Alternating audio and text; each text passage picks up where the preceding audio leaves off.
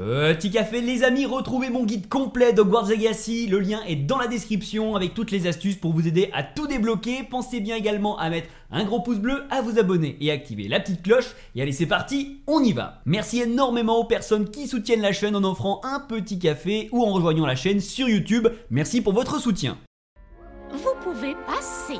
Et donc c'est parti, on y va pour la quête secondaire, le hall d'Herodiana, une quête que vous pouvez récupérer dans le château de Poudlard et qui contient une énigme, un puzzle, donc on va euh, voir une solution ensemble. Cette quête, vous pourrez la récupérer dans l'aile d'astronomie quand elle sera débloquée. Si elle n'est pas là, avancez dans l'histoire, vous devez débloquer minimum le sort Répulso, donc tant que ce n'est pas fait, vous n'aurez pas la quête. Ensuite, vous aurez à aller parler à Sofrania dans l'aile d'astronomie pour commencer justement cette mission. Et justement, on va voir maintenant la solution ensemble. La première étape est assez simple, elle est indiquée directement sur la mini-carte. Il faudra descendre dans les étages de cette aile pour finir par arriver dans le hall principal. Et c'est là que vous ferez face eh bien, aux choses sérieuses qui vont commencer. Il y a un mur, un interrupteur que vous devez activer et c'est pour cette raison qu'il vous faut le sort Répulso. C'est comme ça que l'on active cet interrupteur. S'il y en a d'autres qui sont comme ça, ça marche de la même façon.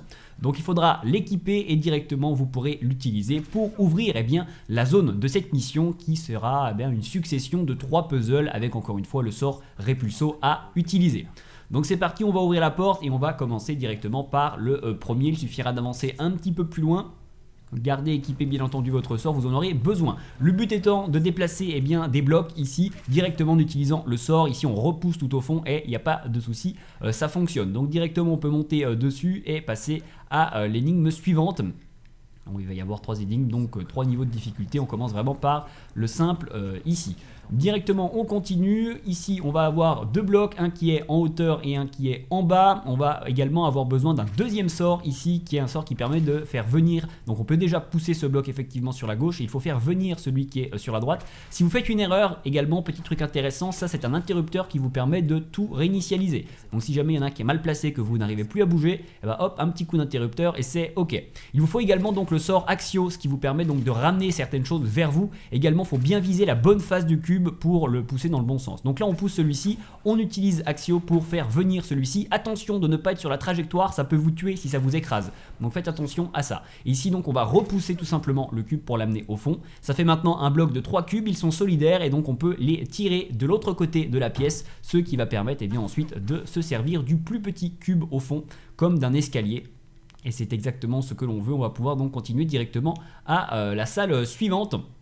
Voilà qui est fait pour euh, ce deuxième euh, puzzle. On va donc pouvoir enchaîner sur le troisième, encore un tout petit peu plus compliqué.